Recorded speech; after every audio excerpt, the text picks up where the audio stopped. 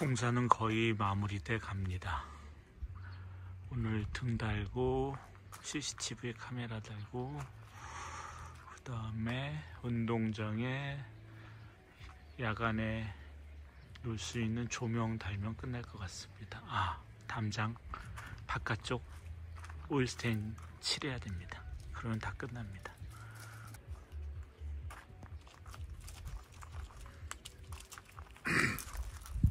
어제 용순찬이가 가서 이제 단촐하게 새 아이 남았습니다.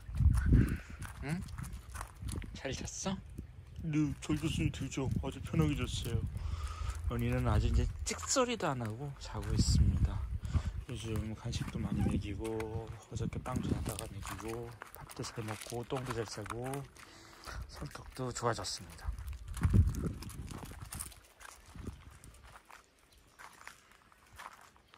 그리고 요 두 녀석. 뭐라고? 어우 뭐라고? 어우 그랬어? 어저께 잠을 잘 잤답니다. 레오트. 응?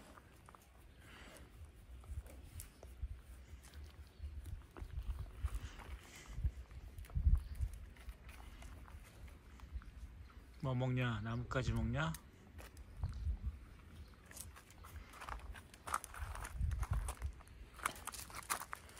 응, 건강해 건강해. 좀 말랐지만 응? 다시 살찌우자.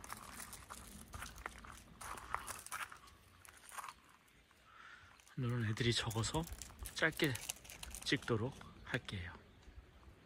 좋은 하루 보내십시오